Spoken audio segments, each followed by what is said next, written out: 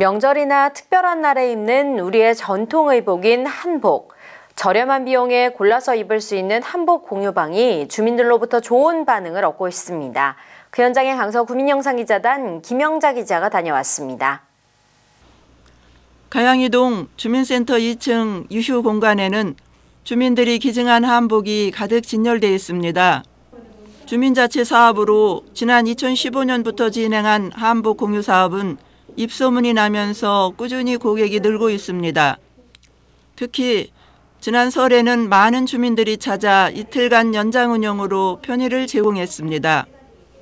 한복 공유 사업을 열어야 하다 보니 기증 한복도 많이 있지만 저희 자체 기금으로 새로운 한복도 구입해 놓았습니다.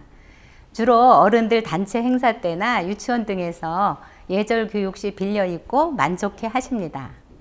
한복 공유방을 찾은 주민들은 다양하게 구비된 한복을 선택하고 입어보며 자신에게 어울리는 한복을 고르느라 여념이 없습니다. 운영 시간은 매주 화요일 오후 1시에서 5시까지이며 대여 기간은 일주일입니다.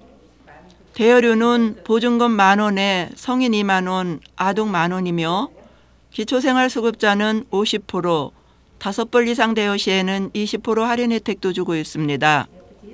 한복을 두 번째 입어보는데요. 예뻐서 기분이 아주 좋아요. 이 밖에도 누리개와 꽃신 등 한복과 어울리는 액세서리도 갖추고 있어 더욱 품위 있는 한복 차림을 연출할 수 있습니다.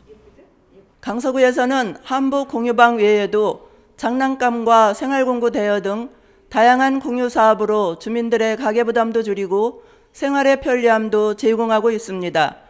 강서구민영상기자단 김영자입니다.